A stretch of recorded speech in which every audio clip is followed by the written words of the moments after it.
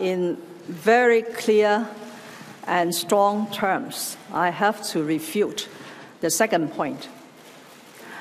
I was and am still is very disappointed that my remarks in a totally private, exclusive session, which is a, a lunch actually, which clearly is subject to Chatham House rules, have been recorded and then passed to the media. I think this is um, quite unacceptable. Okay, so to further suggest or allege that myself or the government have any role to play in this thing is absolutely unfounded.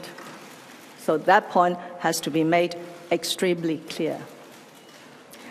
On the first point about resignation, I said on several occasions previously, and also um, reaffirmed by my colleagues in the Chief Executive's office in response to media inquiry, that throughout this period, that is from the very beginning till now, I have never, I have never tendered a resignation to the Central People's Government.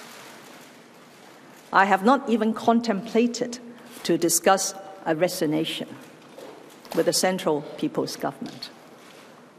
The choice of not resigning is my own choice. Okay? But if you want to understand, because in a private session, I, I just attempted to explain that as an individual, given the very difficult circumstances, might be it was an easy choice to leave.